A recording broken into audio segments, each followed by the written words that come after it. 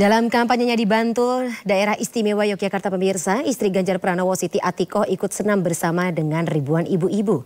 Siti Atikoh juga menyambangi pondok pesantren Krapyak Yogyakarta dan berdialog dengan pengasuh pondok pesantren. Istri calon Presiden Ganjar Pranowo, Siti Atikoh, ikut senam bersama ribuan ibu-ibu di acara konsolidasi perempuan pendukung Ganjar di lapangan Dwi Windu, Bantul, Yogyakarta. Ribuan ibu-ibu ini antusias mengikuti senam pagi bersama dengan Siti Atiko.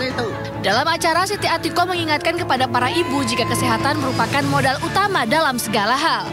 Jelas nanti kita akan silaturahmi terus di Yogyakarta. Tadi juga saya sampaikan bahwa Jogja selalu menyimpan cinta dan kerinduan.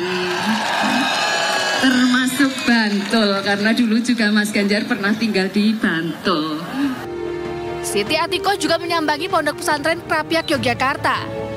Dalam kunjungannya, Siti Atiko mengatakan Ganjar Mahfud akan memberikan perhatian serius dalam membangun kemajuan pondok pesantren, termasuk mengoptimalkan dana abadi pesantren untuk meningkatkan sarana dan prasarana pendidikan di pondok pesantren, beasiswa santri untuk kesejahteraan pengasuh dan pendidikan ustadz serta ustazah. Dari Bantul, Yogyakarta, Disti Arifah, Firmansyah, iNews melaporkan.